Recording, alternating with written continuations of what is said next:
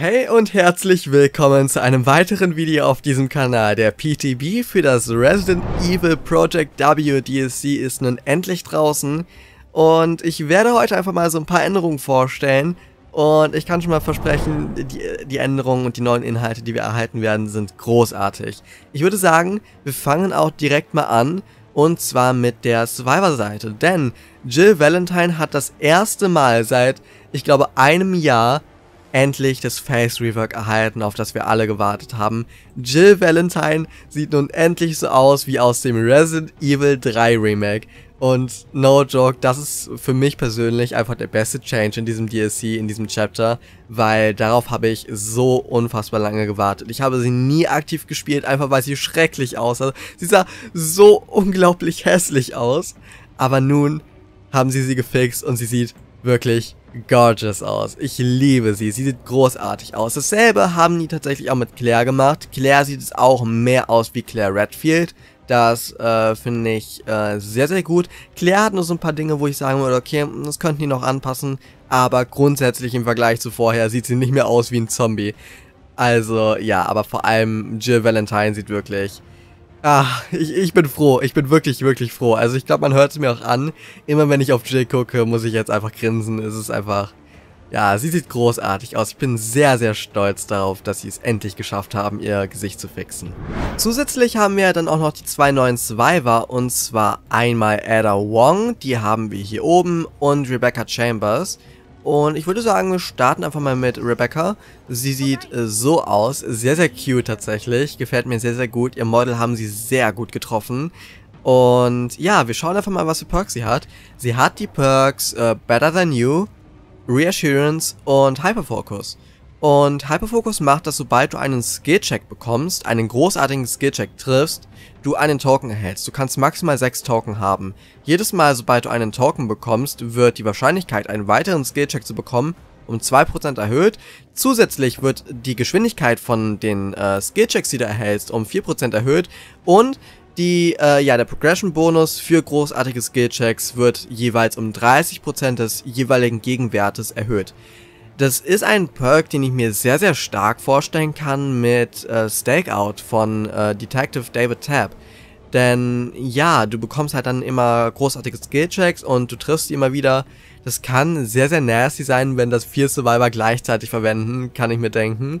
Da äh, bin ich sehr gespannt, äh, wie das in einem Live-Match sein wird. Reassurance macht das, sobald du, ja, ähm, 6 Meter um einen festgehakten Survivor stehst, du mit deiner äh, Ability-Taste sozusagen den Survivor, die, äh, den äh, Struggle Progress einfach stoppen kannst. Das ist sozusagen wie ähm, ein umgekehrtes äh, Camaraderie.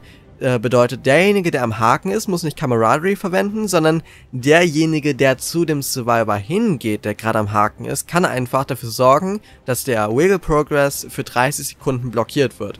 Und das Gute an diesem Perky ist, du kannst es so oft verwenden, wie du möchtest, allerdings hat es einen 40 Sekunden Cooldown. Und das einzige Problem, was ich mit diesem Perk sehe, ist, dass es tatsächlich mit Camaraderie stackt. Äh, und das sorgt dafür, dass du eventuell von Teams, von äh, SWF-Teams gegrieft werden könntest. Bedeutet, sagen wir mal, du spielst Solo-Queue und du hast einen Dreier-SWF in deinem Match und die mögen dich vielleicht aus irgendeinem Grund nicht und dann können die dafür sorgen, dass wenn die alle diesen Perk haben, dass du für literally zwei Minuten am Haken Hostage gehalten wirst, weil du dich einfach nicht sterben lassen kannst. Die einzige, einzige Option, die du hast, ist vielleicht die Scene. Und das stelle ich mir ein bisschen problematisch vor. Es sollte in meinen Augen nicht mit Camaraderie stacken. Ähm, ich denke aber, dass da definitiv noch Änderungen äh, bezüglich des Live-Releases gemacht werden. Dann haben wir noch Better Than You. Das macht einfach, sobald du ähm, ja einen Survivor komplett geheilt hast, dieser Survivor für 35 Sekunden einen Speedboost von 6% hat, in Generatoren reparieren, Healing, Opening Chests und Cleansing Totems. Straightforward, so ein bisschen wie äh, Overzealous, das alte Overzealous von Heady Core. Ähm, gefällt mir, nichts Besonderes, aber ich würde sagen, wir gehen jetzt erstmal zu Ada Wong rüber. Sie sieht nämlich äh, so hier aus. Ada Wong sieht auch wirklich fantastisch aus. Also Ada Wong ist so mein zweites Highlight innerhalb dieses Chapters. Einer meiner liebsten Survivor jetzt schon, neben äh, Jane und Jill. Und ja, wir schauen einfach mal, was für Perks sie hat. Äh, beginnen wir mit äh, Low Profile, meinem wahrscheinlich liebsten Perk in diesem Update. Low Profile macht es, sobald du der letzte Survivor bist äh, in einem Spiel, deine Scratch Marks und Pools of Blood für 90 Sekunden vor dem Killer versteckt werden. Da denke ich, kann man sehr, sehr interessante Perk-Kombinationen und Perk-Builds draus machen. Klingt erstmal sehr, sehr ähm, schwach als einzelner Perk, aber ich glaube, in Kombination mit Left Behind und so, kann das tatsächlich ziemlich, ziemlich cool sein. Also mag ich sehr, sehr gerne. Dann haben wir Reactive Healing. Und das ist ein Perk, den habe ich noch nicht ganz verstanden, um ehrlich zu sein. Reactive Healing macht, dass sobald du, dass sobald ein Survivor 32 Meter um dich herum ein Health State verliert und währenddessen du auch selber injured bist, dein, äh, deine Healing Progression um 35% ergänzt wird. Was ich glaube, was es bedeutet, ist, dass sobald das Ganze passiert und äh, du sozusagen dich selber noch nicht geheilt hast, einfach 35% automatisch von dir schon geheilt werden. Ich glaube, das ist, was es bedeutet. Wenn nicht, dann schreibt es mir gerne in die Kommentare, aber die haben diese Perk-Beschreibung wirklich sehr, sehr kompliziert gemacht. Also ich weiß nicht, was sie sich dabei gedacht haben. Dann haben wir Wiretap. Das ist so ein bisschen wie Blastmine, würde ich behaupten. Sobald du einen Generator für 33% reparierst, wird dieser Perk aktiviert. Und äh, ja, sobald du dann drei Sekunden an einem Generator arbeitest, kannst du Wiretrap auf diesem Generator installieren für 80 Sekunden und dieser Generator ist äh, ja gelb gehighlightet für alle anderen Survivor in diesem Match. Und jedes Mal, sobald du diesen Perk aktivierst, beziehungsweise sobald du ihn generell aktivierst an einem Generator und der Killer innerhalb von 14 Meter um den Generator rumläuft, wird die Aura des Killers zu jedem Survivor revealed. Und das ist so ein bisschen äh, wo ich sage, krass. Also wenn das wirklich jeder Survivor in einem Competitive Match oder so verwendet und dann irgendwie vier Generatoren auf Gen äh, Gideon Meat Plant oder so mit Wiretap infiziert sind, das bedeutet, dass die Survivor einfach die ganze Zeit irgendwie Aura-Reading haben, sobald der Killer sich irgendwie ansatzweise einem Generator nähert. Das ist ziemlich cool, aber kann wahrscheinlich auch ein bisschen nervig sein.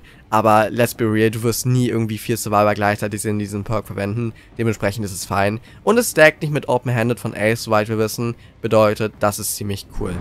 Und natürlich haben wir da auch noch den Killer. The Mastermind, Albert Wesker, ist nun endlich in Dead by Daylight. Und ich würde sagen, wir springen direkt mal zu seiner Power, und zwar Virulent Bound. Er hat die Special Ability Ouroboros Infection. Und das macht einfach, dass du mit deinem Ouroboros einen Survivor infizieren kannst und sobald er komplett infiziert ist und äh, du den Survivor grabst mit deinem Ouroboros, du ihn direkt auf die Schulter nimmst und festhaken kannst. Du kannst also sozusagen, sobald sie komplett infiziert sind, direkt graben mit einem Hit. Das ist krass, das ist richtig, richtig krass. Und solltest du sie nicht hitten, laufen sie die ganze Zeit mit einer geminderten Geschwindigkeit, denn sobald sie komplett infected sind, haben sie den Hindered-Effekt, bedeutet, sie laufen langsamer, und zwar deutlich langsamer. Ich weiß gerade nicht den genauen Prozentsatz, aber ich glaube ungefähr so 100% oder so, also die laufen langsam, die laufen sehr, sehr langsam. Also das ist tatsächlich etwas, was man nicht unterschätzen sollte. Ähm, zusätzlich kannst du mit deinem äh, Ouroboros äh, so ein bisschen dashen, ähnlich wie Blight. Du hast zwei Tokens. Mit dem ersten Token dashst du ähm, ja eine ne gewisse Geschwindigkeit, äh, eine gewisse Distanz, nicht viel, aber mit dem zweiten Dash umso weiter. Äh, so ein bisschen umgekehrt wie Nurse. Bei Nurse ist es ja so, dass der äh, erste Blink der äh, längste ist und der zweite Blink der kürzeste. Hier ist es genau andersrum. Hier ist es äh, so, dass der erste Blink, in Anführungszeichen Blink, der kürzeste ist und oh my god, what the fuck. Das habe ich selber noch nicht gesehen. Holy shit. Okay, da, ja, wow. Das sah ziemlich, ziemlich cool aus, um ehrlich zu sein. Das wusste ich nicht, dass er diese Animation hat. Ähm, ja, also der erste Blink in Anführungszeichen ist der kürzeste und der zweite ist der längste. Und selbst mit dem ersten kannst du einen Survivor schon grabben, egal ob er infected ist oder nicht. Und du kannst den Survivor gegen Objekte werfen und einfach wirklich um die Map rumwerfen. Und es gibt Add-ons, die das Ganze sogar noch increasen, also die Reichweite. Bedeutet, du kannst Survivor nun grabben und dann entweder gegen Objekte werfen oder gegen andere Survivor und dementsprechend verlieren sie dann einen Health State. Oder du wirfst die einfach unfassbar weit weg, dadurch verlieren die Geschwindigkeit und es sieht einfach fucking witzig aus. Es sieht so funny aus. Ähm, ja. Also ich werde wahrscheinlich im Hintergrund gerade so ein bisschen Gameplay am Laufen haben, wie das Ganze aussieht. Es ist, äh, wow, es ist so unglaublich witzig. Es macht echt wirklich Spaß. Survivor haben die Möglichkeiten mit äh, First Aid Sprays, die auf der Map spawnen in Crates, in Supply Crates, äh, diese Infektion von sich wieder loszulösen.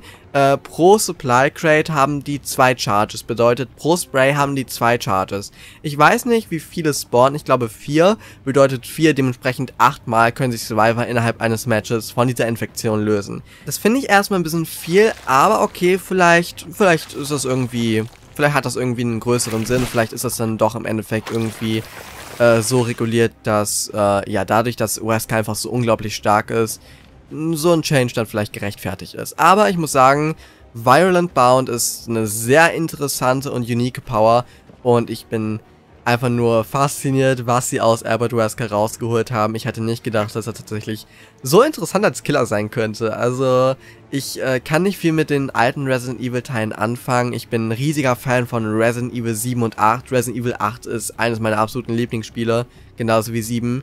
Und dementsprechend, äh, ja, sind die alten Spiele noch so ein bisschen Neuland für mich. Ich kenne mich grundsätzlich relativ aus, ich weiß ungefähr, worum es geht, aber so wirklich interessiert hat es mich nie wirklich. Aber trotzdem freue ich mich, dass Albert Wesker jetzt im Spiel ist und ich finde, die haben wirklich einen, einen sehr, sehr guten Job geleistet. Pretty good job so far, wie, äh, ja, äh, Matthew Coty sagen würde. Zusätzlich wurde die RPD-Map Raccoon City Police Department in zwei Teile aufgesplittet, einmal in den West Wing und einmal in den East Wing. Zusätzlich kann man die obere Etage der Library nicht mehr betreten, auf beiden Variationen nicht mehr. Also ja, diese Balancing-Issues, die man da hatte, die sind nicht mehr vorhanden. Das freut mich schon mal zu hören. Allerdings ist äh, laut den ja, laut den Erfahrungen von anderen Spielern und laut meinen eigenen Erfahrungen äh, der West Wing von Raccoon City Police Department noch stärker als vorher, wenn es darum geht, wie survival-sided die Map ist. Also Raccoon City Police Department West Wing ist tatsächlich sehr, sehr stark für Survivor. Der East Wing ist fein, West Wing ist wirklich fucking ridiculous. Also du hast so viele God Pellets. Die Map wirkt teilweise sogar noch größer, da die äh, Gänge breiter sind jetzt und du hast eine Anzahl von Paletten auf einem kleinen Raum, sodass es wirklich gar keinen Unterschied zu vorher macht. Also du hättest einfach altes RPD beibehalten können und es hätte keinen Unterschied gemacht. Es wäre wahrscheinlich sogar besser für den Killer gewesen, als jetzt so eine West Wing Map zu haben. Äh, ja, die müssen definitiv die ein oder andere God Palette äh, entfernen. Aktuell ist mir das einfach viel zu oppressive und stark. Also das ist einfach nicht spaßig. Äh, East Wing ist fein. East Wing äh, macht Spaß, aber West Wing ist wirklich, äh, ja, nein, ist ist es nicht gut. Es ist, es ist schrecklich, um ehrlich zu sein. Also ja, diesbezüglich ähm, kein guter Change. Das war's auch schon mit diesem Video. Wenn ihr mehr PTB Gameplay sehen wollt, dann äh, seid darauf gefasst, dass die nächsten Wochen tatsächlich das ein oder andere Video noch online kommen wird, wo ich äh, ja Albert Wesker spielen werde.